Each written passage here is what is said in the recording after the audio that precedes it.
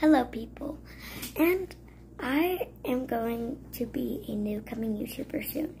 If you want to see my dad's YouTube videos, type in at search Chester Beebe. You'll see him.